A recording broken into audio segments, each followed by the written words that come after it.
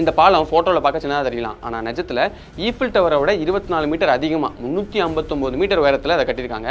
இந்த செனாப் ரயில்வே பாலம் உலகத்தோட உயரமான ரயில்வே பாலங்களில் முக்கியமான ஒன்று.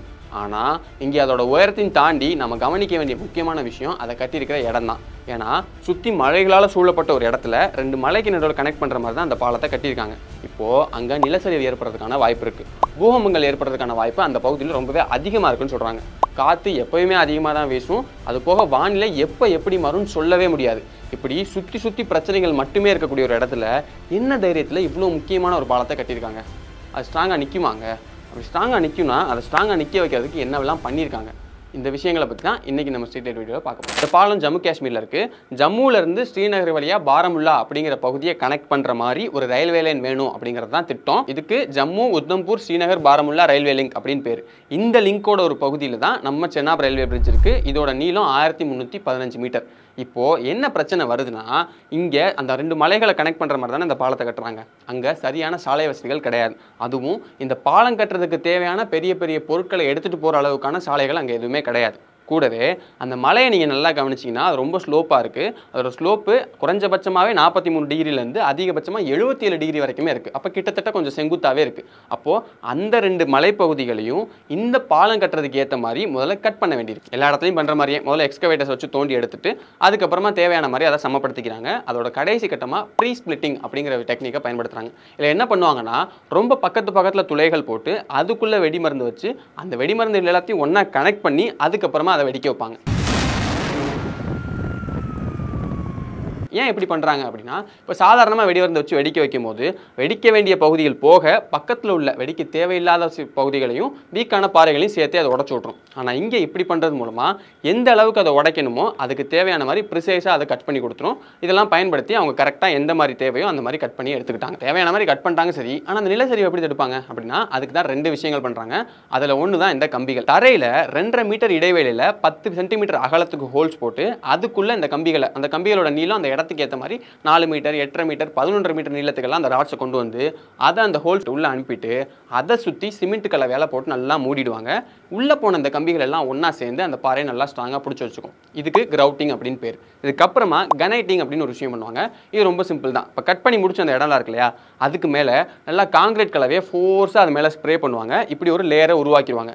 இப்போ இதுவும் மேலே நம்ம பார்த்தா அந்த கிரவுட்டிங்கும் ஒன்றா சேர்த்து அந்த பாறையை நல்லா சரிஞ்சு விடாமல் ஸ்ட்ராங்காக பிடிச்சி வச்சுக்கும். இதை பண்ணி முடிச்சதுக்கப்புறமா அந்த ஸ்டீல் பியஸை உட்கார வைக்கிறதுக்கு தேவையான காங்கிரீட் பிஎஸ் அது மேலே போட்டுட்டு அது மேலே ஸ்டீல் பியஸை ஒன்று ஒன்றா கொண்டு வந்து அசெம்பிள் பண்ணி அப்படியே வச்சுருவாங்க. இதுக்கப்புறம் தான் முக்கியமான விஷயமே வருது அந்த ஆர்ஸை கொண்டு வந்து எரெக்ட் பண்ணுறது ஆனால் அதுக்கு முன்னாடி ஒரு முக்கியமான கேள்வி இங்கே வருது.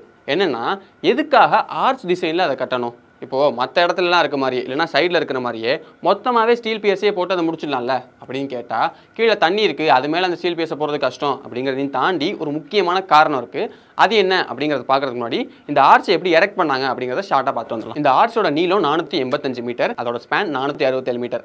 இப்போ அந்த பாலத்துக்கு ரெண்டு பக்கமும் டவர்ஸ் இருக்குல்ல இந்த டவர்ஸோட உயரம் மட்டுமே தொள்ளாயிரத்தி பதினஞ்சு மீட்டர். உலகத்தோட உயரமான கேபிள் கிரேன் டவர்ஸ் இதுதான்.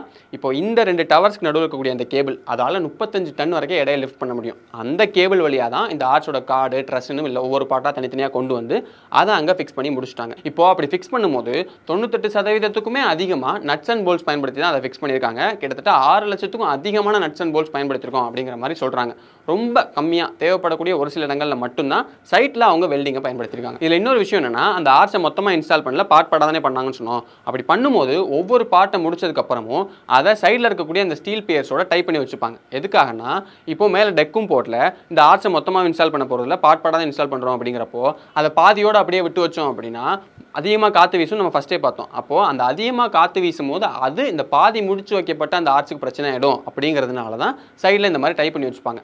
அதுக்கப்புறமா மொத்த ஆர்ச்சியும் போட்டு முடிச்சது அதாவது மொத்தமாக எரெக்ட் பண்ணி முடிச்சதுக்கப்புறம் அந்த டைஸை தூக்கிடுவாங்க.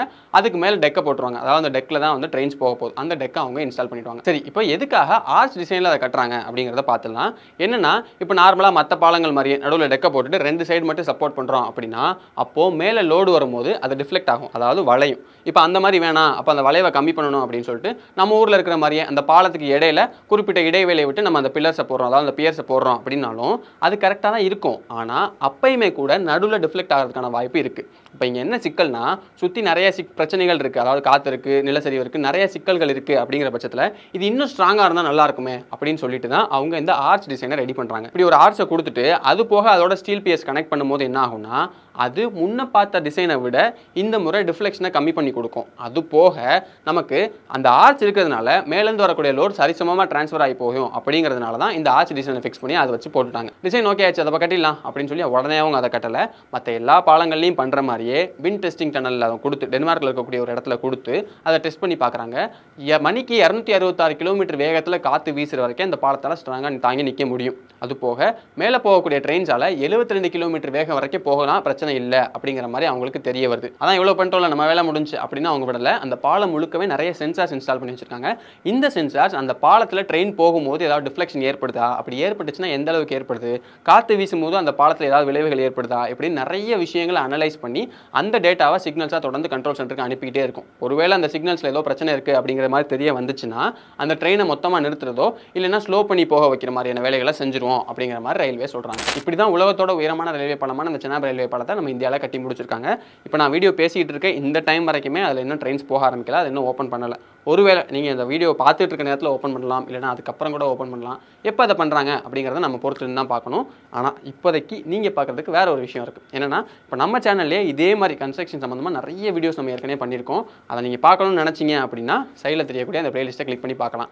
அதில் குறிப்பாக நம்ம கடைசியாக சைனாவில் இப்போ நம்ம இந்தியாவில் உயரமான ஒரு ரயில்வே பாலம் கட்டிருக்கோம் இதே மாதிரி மலைகளுக்கு நடுவில் சைனாவில் சாங்ஜியாஜி அப்படிங்கிற ஒரு இடத்துல வந்து ஒரு மிக நீளமான கண்ணாடி பழத்தை கட்டியிருப்பாங்க அதை பார்த்தாலே எப்படா அதை கட்டினீங்க? அப்படிங்கிற மாதிரி தான் இருக்கும். அது மட்டும் இல்லாமல் சைனாவில் மொத்தம் ரெண்டாயிரத்துக்கும் அதிகமான கண்ணாடி பழங்களை கட்டியிருக்காங்க.